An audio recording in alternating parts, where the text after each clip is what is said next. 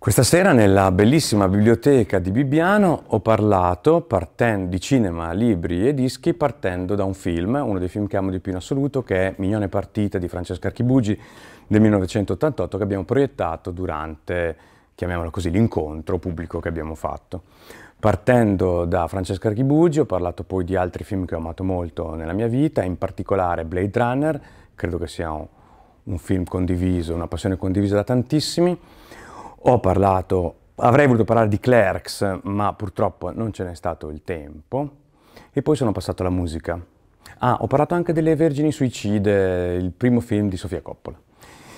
Passando alla musica ho invece portato soltanto dei vinili e sono partito da Don Giovanni di Lucio Battisti, il primo disco che ha realizzato con Pasquale Panella, credo che sia un capolavoro di tutta la discografia italiana del dopoguerra. E poi sono passato alle altre mie passioni più o meno adolescenziali, i Police, e, um, ho raccontato un po' di storie su affinità e divergenze dei CCCP, ho parlato di altre mie passioni discografiche italiane, gruppi italiani, in particolare Diaframma, e poi anche invece cose straniere che mi hanno particolarmente eh, attirato nella mia adolescenza d'archettona. This Mortal Coil e soprattutto il gruppo più importante dell'epoca, ha attraversato quasi tre decenni, sono i Depeche Mode, stanno festeggiando in questi giorni i 40 anni della loro formazione. Sono poi passato inevitabilmente ai libri e una delle mie grandi manie degli ultimi anni, che sono i gialli svedesi, e dopo essere stato folgorato dai libri di Stieg Larsson, che mi rendo conto essere molto popolari, quindi mainstream, ma e anch'io all'inizio li avevo giudicati in questo modo e mi rifiutai di leggerli, una volta entrato in quel vortice non ne sono uscito per anni,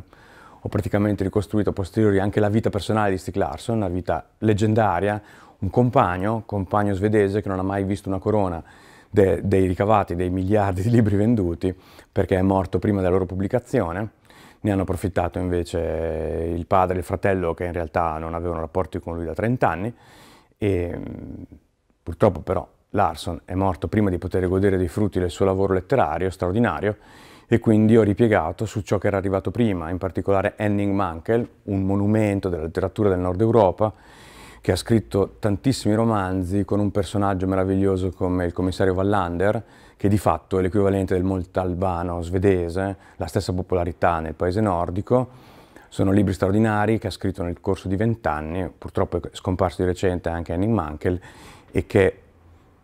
hanno una visione non soltanto della storia gialla classica, ma sono gialli sociali, ambientati nella storia, ambientati nella realtà sociale svedese e sono stati sempre abbastanza critici, sia quelli di Stieg Larsson che quelli di Mankell e infine a ritroso quelli degli anni 60 e 70 di Per Valo e Mia Sjoal della società svedese, una critica alla socialdemocrazia svedese, anche se come ho detto durante l'incontro ci fosse un altro Olof Palme, sono pronto a votarlo. Dubito che nella politica italiana ci proporranno un politico di quel livello, purtroppo mancato anche lui. Come digressione finale ho promesso a tutti gli intervenuti una lezione sulla storia dell'impero bizantino di Ostrogoschi, tra gli autori, autori, molto importanti della mia storia che hanno in qualche modo influenzato la mia scrittura, la scrittura dei brani degli Oflaga e dei Spartiti, c'è sicuramente Paolo Nori, che non è soltanto il curatore di questa rassegna, ma anche uno scrittore contemporaneo italiano con una forza dirompente, in particolare Basso Tuba non c'è. Questa sera ho letto anche l'incipit di questo romanzo, eh, che al tempo piacque molto ad uditori, uno dei quali molto importante, cito pedissequamente l'inizio del romanzo. E, l'importanza di Arturo Bertoldi, un amico della militanza degli anni Ottanta del Partito Comunista Italiano a Reggio Emilia della FIGC, che Purtroppo non pubblica, ma in realtà è un autore immenso, è l'autore del testo di cinema degli Oflaga di Scopax, è l'autore del libro Perché i vivi non ricordano gli occhi di, eh, realizzato l'Istituto Storico per la Resistenza di Reggio Emilia di Storeco, i racconti di quel libro straordinari, eh, penso che siano un'opera letteraria a sé stante importantissima, anche se Arturo ha prestato la sua scrittura per qualcosa di più importante, cioè la memoria, ma sono veramente di una bellezza e di una struggenti, indescrivibili, quindi se trovate quel volume perché i vivi non ricordano gli occhi di pubblicato dal, dall'Istituto Storico della Resistenza di Reggio Emilia, credo che non ve lo dovete lasciare sfuggire se lo trovate in qualche mercatino, in giro, in qualche mag, in qualche luogo dove sopravvive un po' di letteratura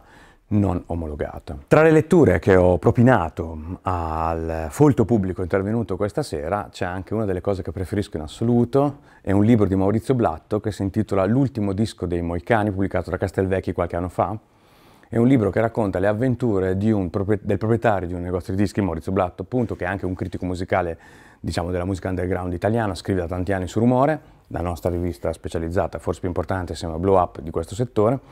e Maurizio Blatto in questo libro racconta le incredibili avventure del pubblico che entra oggi in un negozio di dischi specializzato sostanzialmente in collezionismo o in, dicevo prima, culture musicali non omologate. Sono storie esilaranti, surreali, comiche,